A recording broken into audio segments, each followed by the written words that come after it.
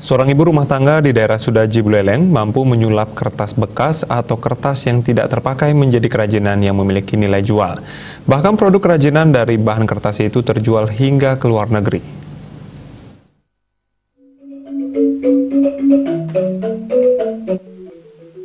Luh Rusmiati, usia 43 tahun, warga Banjar Dinas Ceblong, Desa Sudaji, Kecamatan Sawan, berhasil mengubah sampah kertas yang tidak terpakai menjadi kerajinan bernilai ekonomi. Dari tangan terampil perempuan kelahiran 4 Juni 1979 silam itu, kertas bekas seperti kertas koran dan kertas HVS yang sudah tidak terpakai disulap menjadi kerajinan tas, keranjang, tatakan gelas, kalung, bokor, hingga kursi dan meja. Hasil kerajinannya itu ia beri label Gegen 5 atau dalam bahasa Indonesia buatan tangan.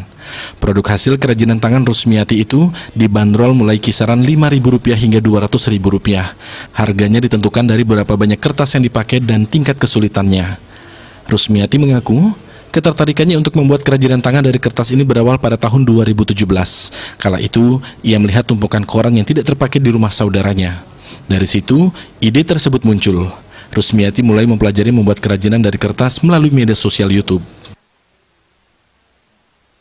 Kerajinan ya, itu awalnya. Terus uh, ada dulu awal-awal sekali itu ini kan dari koran, banyak koran yang numpuk di rumah saudara gitu kan daripada dia dibuang atau menu-menuhin gudangnya gitu. Habis itu cobalah saya minta gitu iseng-iseng saya cari-cari di di YouTube apa sih yang bisa dibuat dari koran uh, itu awalnya sekali kalau kertas dulu belum awalnya memang koran semua saya pakai gitu akhirnya ya coba iseng buat jadi gitu.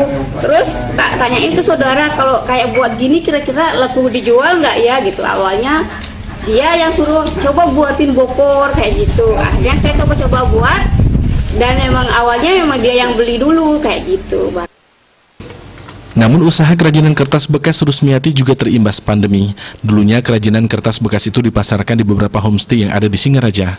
Sebagai dampak sepinya tamu, dirinya kini memasarkannya melalui media sosial. Komang Yuda, Bali TV